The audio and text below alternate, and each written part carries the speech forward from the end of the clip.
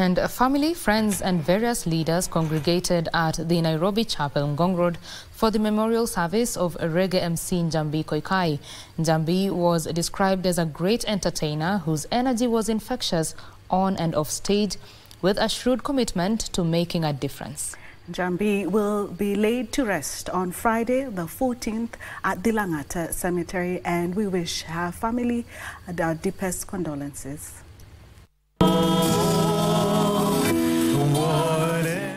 A somber mood filled the air at the Nairobi Chapel, Ngong Road. Friends, relatives, and various leaders came together to celebrate a fallen heroine of our time. Her colleagues in the media eulogized Njambi as a beacon of resilience and hope. Njambi's mother mourned the loss of a daughter, a friend, and a companion. Her father recounted the moments they shared despite not always being in her life. It is only when you go to Form 1 and I was back in the country that we were able to meet when you came to the office to look for me. I may have not fulfilled my duties as your dad. Please forgive me.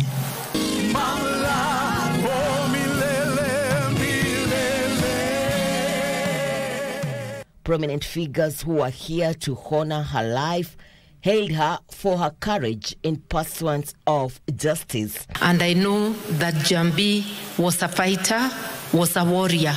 My mind is already exploring how we will use this platform to honor the memory of this incredible young Kenyan. The late Njambi started her career at Kenya Broadcasting Corporation as an intern in 2007, where she rose through the ranks to become a TV news presenter before moving on to other ventures and making a name for herself in the entertainment industry as a reggae DJ.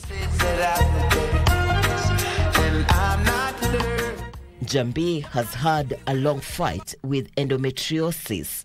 She was keen to share her struggles and educate her fans the challenges of the disease. She passed on June 3rd while undergoing treatment at a Nairobi hospital. She will be laid to rest tomorrow, June 14th, at Langata Cemetery in the county of Nairobi. Irene Mchuma Odim, the Prime Edition.